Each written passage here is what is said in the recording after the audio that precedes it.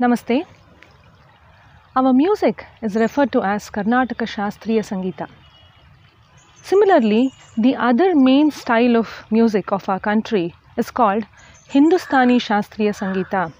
And all our traditional dance forms like Bharatanatyam, Kuchipudi, Kathak are referred to as Shastriya Nrityas. What does this adjective Shastriya signify?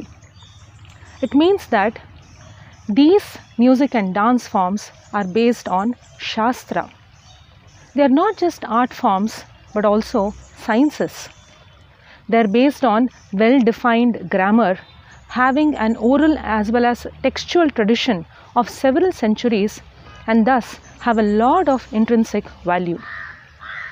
However, in the past few decades, the expression classical has come to be used while referring to these music and dance forms. We say Carnatic classical music, Hindustani classical music. We say Bharatanatyam is a classical dance form. Mohiniyattam is classical dance. Now, what does this term classical mean? In the original and narrow sense, the term classical means anything that relates to ancient uh, Greek or Latin literature, art, or culture. With specific reference to music, it applies to Western orchestral music that was composed during the 17th and 18th centuries, particularly the music of Beethoven, Mozart, Haydn, and others.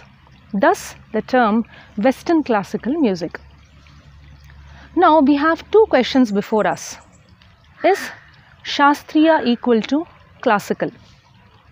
I would say no, because as we have already seen, the term Shastriya has a specific literal meaning as well as a connotation in our tradition. And it is not essentially the same as the idea of classical that has a certain significance and connotation of its own, which comes from the Western musical tradition. The second question is that is it okay to call our music as classical?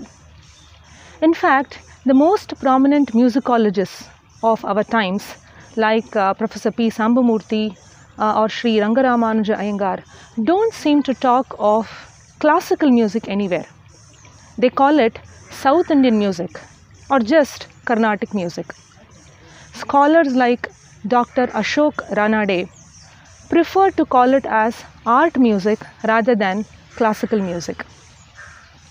However, in the broad, uh, more generic and popular sense, the term classical uh, means anything that is of the highest class or recognized high quality, conforming to an established form, appealing to critical interest and developed taste. So, from that point of view, I think it is quite okay. Uh, it rather makes sense to uh, use the term classical when we refer to Carnatic music or Hindustani music or even Bharatanatyam. Friends, this is Vrinda Acharya signing off from Sri Malahani Kareshwara temple at Sringeri. I will see you all soon with my next episode of Prabodha. Until then, Namaste, Shubhamastu.